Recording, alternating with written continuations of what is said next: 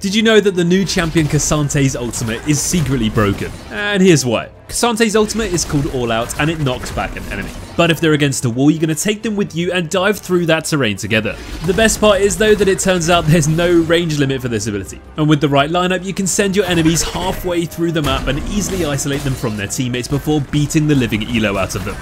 This even works in ARAM, and you can literally send enemies from one Nexus to the other. Stay ahead of the meta with Mobalytics.